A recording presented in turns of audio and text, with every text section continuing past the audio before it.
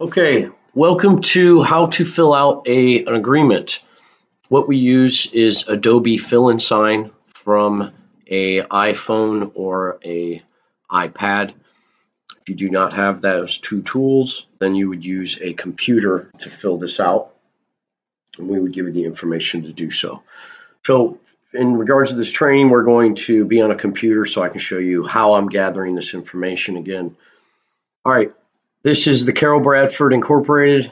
These are their license numbers for general contractor and roofing contractor.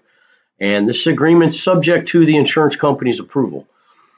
So um, basically what that means is uh, we're going to be submitting a different estimate um, that's higher value. But what we are doing is writing people up into an agreement for what they currently got approved for so that we can supplement and bill the insurance company later so here's how I found the information. Uh, on the insurance estimate, have you seen the other tutorials? Same estimate. This is Adam Smith. I put that information here. The date that we signed the agreement, pretty simple stuff. Property location, find that right here. And uh, city, zip code. As you can see, this is, I think I screwed up, it's 338. 33813 is their actual zip. We would, oh, it's missing a, number here, I think. So anyway, I would correct that. Uh, email adamsmith8912 at gmail.com. HOA, Homeowners Association Approval. Um, you'll be notified by your leader if they're inside one. Also, the homeowner might know if they're in that uh, homeowners association. What that means is the homeowners pull together to have certain things in their neighborhoods, mailboxes, roof colors. That's that's what that means. Typically, it's going to be no. Um, maybe it might be yes, but you'll find out from your leader or from the homeowner. Okay. The next information um, is what we're always going to install, which is uh, roof specifications. This is our GAF Timberline system. Uh, HD means high definition. They picked a charcoal color. Construction type, we are always going to do remove and replace. Usually what we've been finding out here is it's a one-story house out in Florida. The pitch is typically walkable, which is around 612, maybe even 712. Uh, I've been noticing these mostly 612s. We're going to typically only tear off one layer all the time you might find two layers down here, but standard is one layer tear off. These are your pipes that come out. Typically there's two of them. People have two bathrooms down here. Maybe somebody has one. Maybe they have five. You just count them up. And typically two inches what we uh, account for. You can see how thick the pipes are um, from photos or from doing an inspection.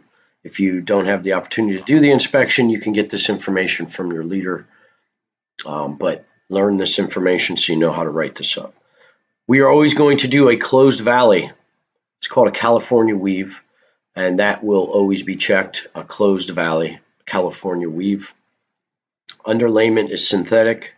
Always we use synthetic. Usually it's called like deck armor.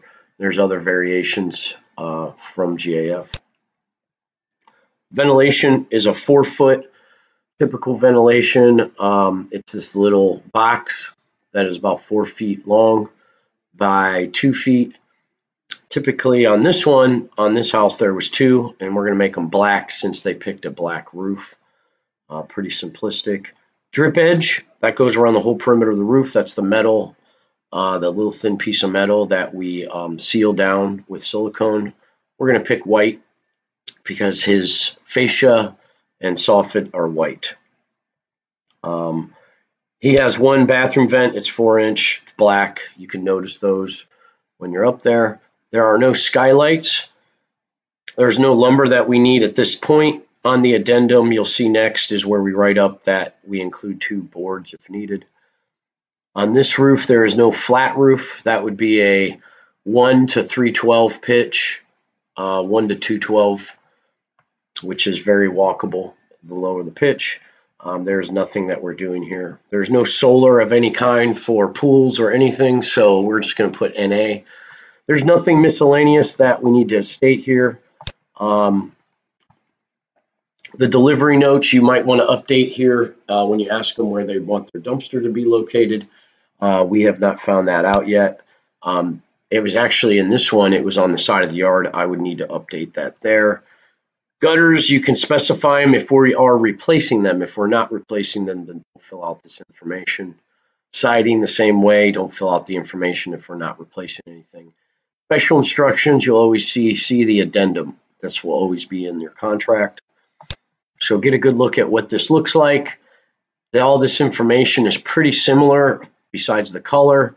We always use this product and you have to count pipes. This is basic information that your leader will go over with you, but this is how you fill out the contract.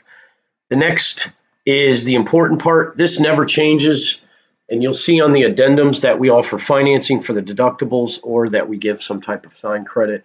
We're going to go over those two examples next.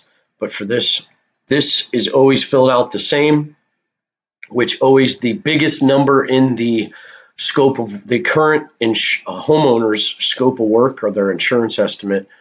That's where we put that here. Let's click over here um, and you will see this where we find this information. The first check. Let's go over here. It says first check. This is obviously the homeowner signature, my signature, the date it happened, but this is important. Um, the first check is always going to be, let's follow this down, the replacement cost value is the highest number on the summary page, summary of dwelling, which you've already learned about. The depreciated value is what they hold back until we complete all the work on the estimate, which is a full roof replacement. This is once we're done with this estimate, we will get this amount of money. The actual cash value, that's the first check they receive, was 4,849.69. They didn't really receive that amount of money. Why? You know, that we have to take out their deductible. The homeowner is responsible for this.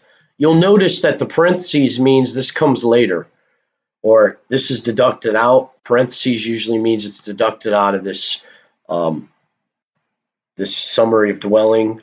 It's deducted out, and the homeowner actually only received in their pocket when the insurance adjuster sent this through the mail, or they wrote it out in their car, this estimate, and gave them a check on site.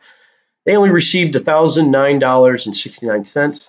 That is noted here, always what they actually got from the insurance company. Noted firstly right here.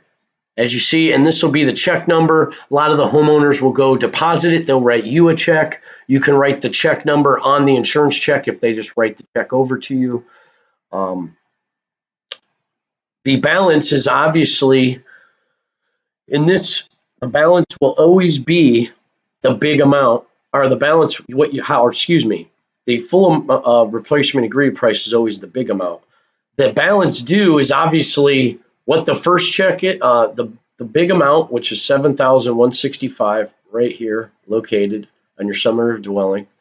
We take out what they received $1009.69 the balance owed is simple. You do those calculations 7,165.59 minus $1,009.69 gives you this value right here. We don't have a check number yet. We didn't receive that, so we don't put that dollar figure here. But that is as simple as I can make it of how to fill this out every time. Next, you'll be learning on the different addendums to write up in front of the homeowner. Thank you.